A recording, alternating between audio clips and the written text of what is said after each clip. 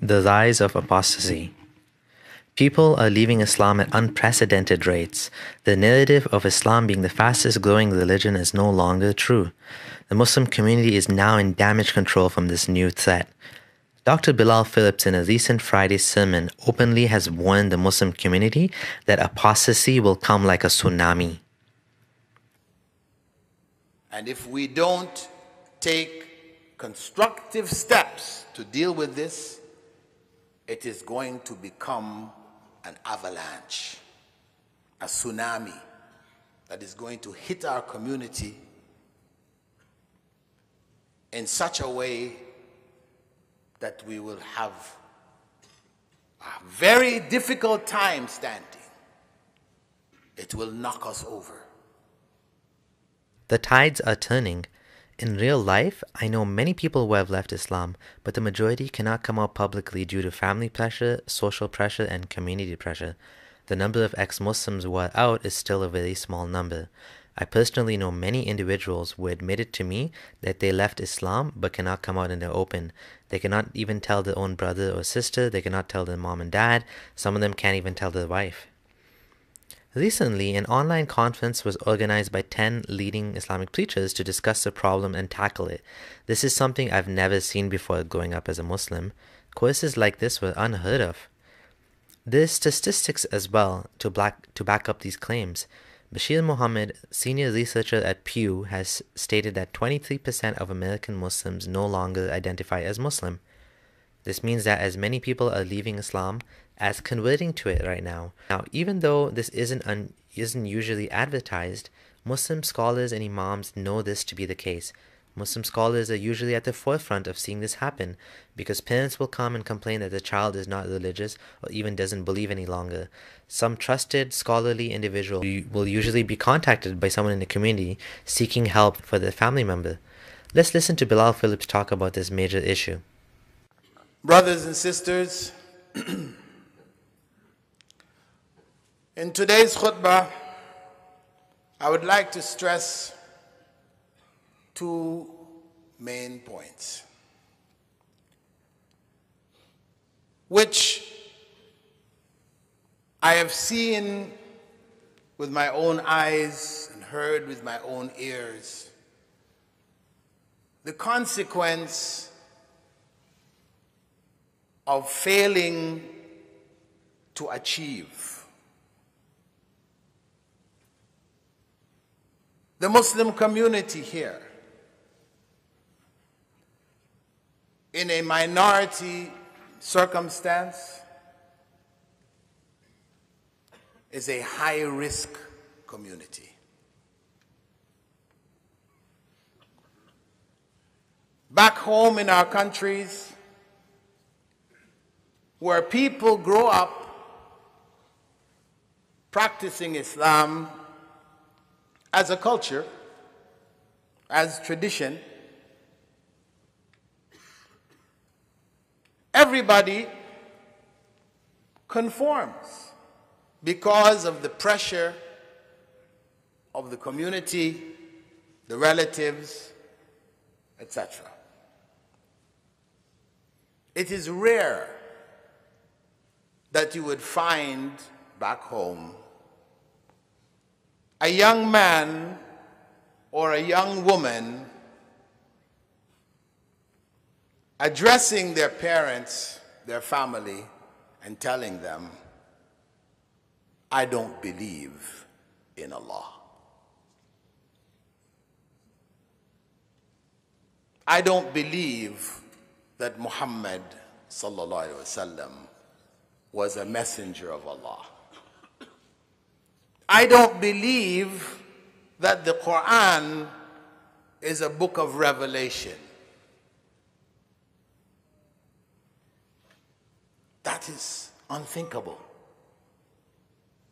That is the unthinkable back home. But here in Canada, it is happening. It is happening continuously. You may not find it coming from small children, young children, but it is happening at different stages of adulthood, early adulthood, teenage, it is happening. Because our young ones, our children, are at risk. Their faith is being challenged in the society, and particularly in the schools, in the institutions of education. This is where their faith is challenged. We cannot afford to be complacent. Back home, yes, we could be complacent because the society is there as a safety net to catch those that may slip, doubt, etc., and help them back. But here, there is no safety net. There's a family, but the family is not enough. So basically, Islam can survive criticism and doubt when everyone around you is Muslim. The reality, though, is even in the heart of Muslim countries, people are quietly leaving Islam. While I was in Doha, Qatar, one sister called me from here. From a religious practicing family, Islamically active. She said, My son memorized the Quran at the age of 10. Alhamdulillah. He memorized the Quran at the age of 10. And he went for Umrah. We took him for Hajj. Praise, fast, everything.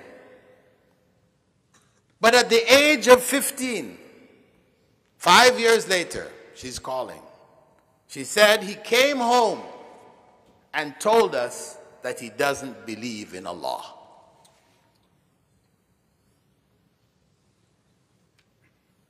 What should we do? We have other young children in the house.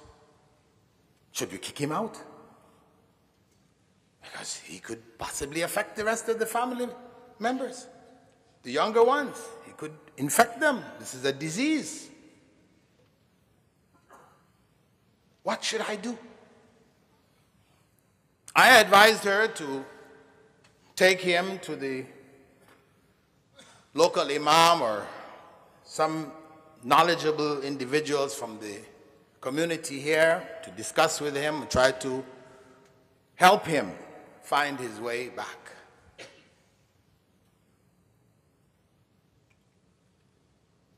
It's a tragic situation. Kicking out a 15 year old because he left Islam? Wow. And a few days ago, I met with another young man from our community who completed his bachelor's degree University of Toronto, doing his master's, science subjects, etc. And he reached the same point. He said, I don't believe in Allah. His family members brought him for me to talk to him. And I spoke with him. He didn't believe in Allah. Uh, he spoke something of, yeah, no, I do believe in God, but in the end, when I pinned him down, he didn't believe in the existence of God. The Quran was not a miracle. Muhammad was not a prophet of God. Yes, he is a good man. He was a good man. He was known as a good man. But as he said, good people lie. Good people can lie, just like anybody else. That's where he reached.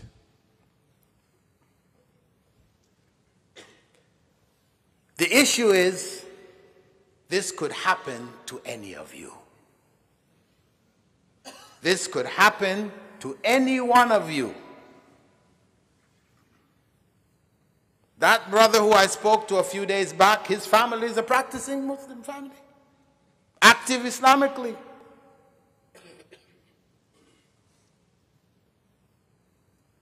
And the one who called me from here, same thing. So it's not just a matter of uh, those people were not good Muslims, they weren't really practicing, so and so and so. So it's not surprising. No. This is really serious.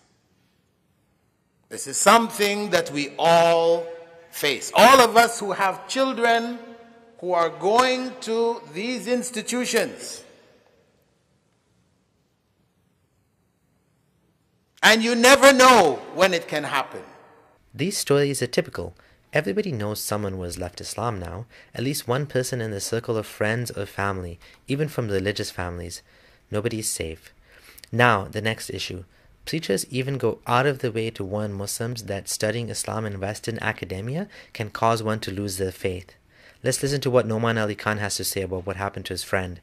For example, I, I know brothers that, uh, you know, their intention was they're going to study Islam in the Muslim world, and then they're going to come here and they're going to do PhDs in Islamic studies in different universities, things like that. And they got into the, you know, one such program, for example, I have a friend who's in Harvard at the Islamic Studies program. And I met him, in, he was getting his master's, then he was going to get into his PhD, again, Islamic studies. He's not even done with his master's. I was just, I went to Boston and I was hanging out with him, and what, is, what does he tell me? He says, man, after the two semesters, I lost my faith. And the only way I can actually continue my studies is that I, I stop thinking about it. Because if I think about it, I can't, I can't keep my iman anymore. It's gone. Yasir Qadhi talks about how he personally got shubhat, doubts that he wasn't able to resolve studying Islam at Yale, doubts related to the history of Islam. I was one of the first people that doing a PhD from an Ivy League now. I have 10 years in Medina. I don't, still don't know anybody who's done something like this. I mean, and I'm being honest with you, you're all tulabul ilm and, and, and, and have studied Islamic sciences. Wallahi, I'll be honest with you.